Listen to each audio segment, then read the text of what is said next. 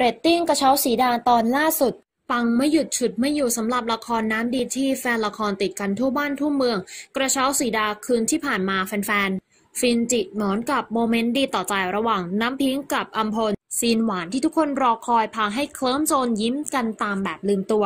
ส่วนรำนำก็โชว์ความร้ายจนได้ไล่เพราะตอนนี้ชีวิตคิดดีไม่ได้เป็นมิตรกับใครไม่เป็น ถือว่ามัดรวมซีนเด็ด กระชากใจไว้ได้อย่างลงตัวแบบนี้ เรียกได้ว่าเป็นอีกหนึ่งละครที่ตอนนี้ฮิตมากๆ เรียกได้ว่าปังจนฉุดไม่อยู่เลยก็ว่าได้สำหรับละครเรื่องกระเช้าสีดา ละครเรื่องดังของช่องวัน 31 ซึ่งต้องบอกเลยว่านักแสดงแต่ละคนนั้นเล่นดีมากๆทำเอาแฟนๆเฝ้าติดตามต่อไปอย่างใจจดใจจ่อเลยจ้าสำหรับกระเช้าสีดาละครเรื่องดังของช่องวัน 31 ที่ EP ล่าสุดนั้นยังไต่ระดับความแรงขึ้นแท่นละครหลังข่าวเรตติ้งที่สูงสุดประจำวัน โดยทำไปได้ถึง 4.9 ส่งผลให้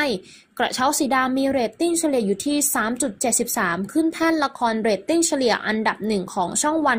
31 กระแสเรตติ้งเทรนด์ทวิตเตอร์อันดับหนึ่งทำเอานักแสดงและทีมงานยิ้มแก้มปริเลยทีเดียวแซงเจ้าของตำแหน่งเดิมอย่างวันทองไปเรียบร้อยแล้ว โดยวันทองเรตติ้งเฉลี่ยอยู่ที่ 3.52